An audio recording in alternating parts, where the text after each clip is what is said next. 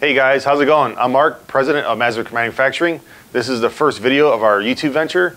Um, follow us along with the shop tour with uh, Javier from TRC. Mark, what's up, man? Hey, what's up, Javier? Nice to see you, man. You too, man. It's been it's been quite a while. Last time the fans were here, it was probably I don't know, four years ago, three or four years ago with uh, our RB block. Yeah, yeah, So yeah, your awesome RB30. to be back, man. Yeah, yeah, it's nice to see you. Got some SRs here. Yeah, man. Yeah, this is a, a 2.4 liter uh, all motor build for a drag race guy. Pretty nice setup. It's we're, we're doing a little more development on some of the trigger kits with that right now. This is like a typical build we do. It's a rear wheel drive S14 motor. You know, simple four to 600 horsepower build.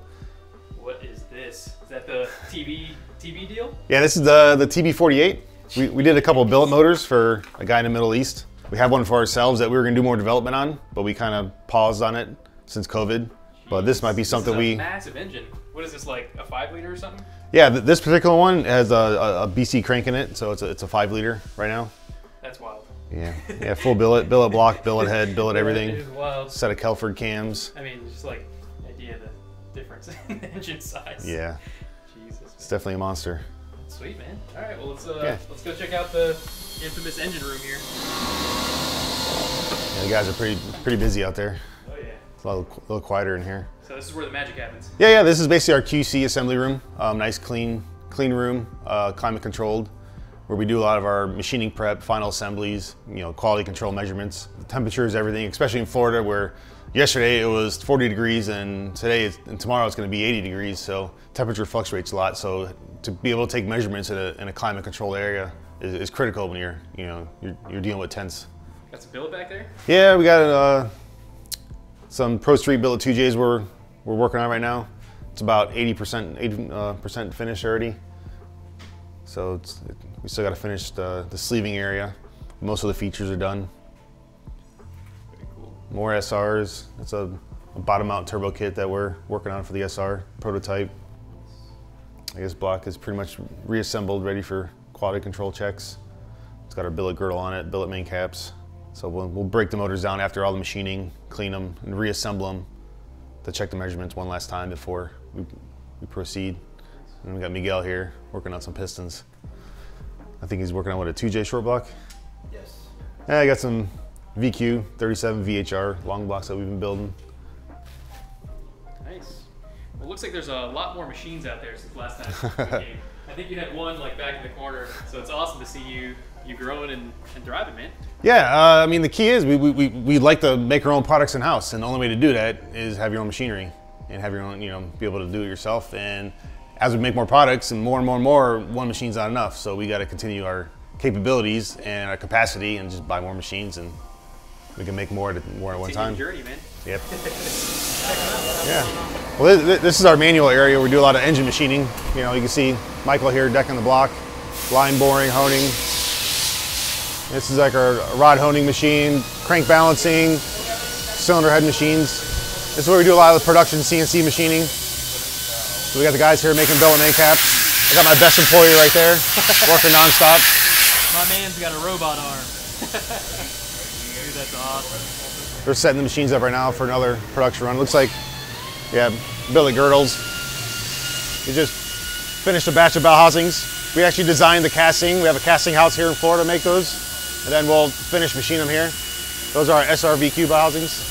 This is our breakdown area, hot tank area, engine prep. So we get the motors in. This is the first place they go. We'll break them down. This is an SR we got broken down. So it'll start looking like this, and then when it's finished, it'll look like the one that we saw at the beginning of the video. And this is another twin spindle lathe with live tooling and a bar feeder. So th this machine runs 24/7, non-stop. Right now we're just making some short shifters, parts for our short shifters. So th- this part will go from bar stock to a finished part in about 20 minutes. No way, that's awesome. Is that one being done right here? Yep. See if we can see it. So this is how they start. Yeah, well, actually, it starts off in a three foot piece, and then we can make six pit parts out of a three foot stick, and then we have like about a four inch remnant that pops out when it's done, when the next Nice. stick comes in. And what are, what are these for? What, what uh, It- uh, it's, it's a Z32 short shifter. We mainly make them for our, our SRVG, KAVG adapter kits. Nice. You know, we sell so many of them. You know, we like to bring all that work in house, and it's been working out pretty good for us. awesome. Yeah, more five-axis machinery. We do a lot of block work in here, a lot of CNC porting. Yeah, so this is an old Pro Pro Drag billet block that the customer had, and it looks like he, he blew the head gasket and it ended up torching down inside the cylinder. So we end up grinding it out, machining it out, Right through it. Not supposed to be like that. and then we'll, we inserted a, a part in it. We'll weld it up. We'll machine it for uh, larger OD sleeves, and then get it back running. It- Get it- another use out of it. Oh yeah, yeah, yeah. It- It'll be a good uh, secondary block. I wouldn't use it as a primary, but you know, a lot of these race teams will have you know three or four blocks, so they can cycle through them. Usually the cars running these are making upwards of you know 2,000 horsepower. Oh, two, three thousand. Yeah, these guys. Who knows what they're making? The good thing is we can make these and we can and, we can support them and, and repair them in house. We got like a a two JS14 here. We didn't build the car. We built the motor and we're doing the turbo system. So once we're done with the turbo system, we'll give it back to the chassis guy and he can finish the rest of it up. We don't do many projects, but you know it's good to do one one every once in a while. Keep the guys excited. and have some fun. Yeah, it- it's, it's fun. It's just hard to do it as a primary business. You know, we do more production, so the custom stuff isn't really our forte. And I see uh, I know there's an SR20 in, in this bad boy right here. Yeah, this is the, the S15 Techno Toys. It's been like what mid to low sixes or something like that. Uh, we've been 620 at like 230 miles an hour. That's wild. You guys are pumping crazy power out of this little SR, man. Yeah, we made it a little over 2,000 on the engine dyno, and that was at 80 pounds, and we, we we're probably making about 2,200 at the track. Wow. Makes about 90 pounds at the track. That is nuts. Oh, look at that. Right hand drive. Yeah, you know, the S15s only came right hand drive. Yep, yep.